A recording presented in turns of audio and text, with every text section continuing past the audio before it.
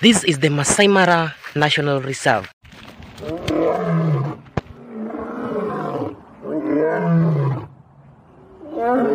Speaking about the lions or the Panthera leo, it's known these are the bravest animals in the jungle. The male carnivore animals pronounce their names with the large roars that can be heard 8.1 kilometers away or 5 miles.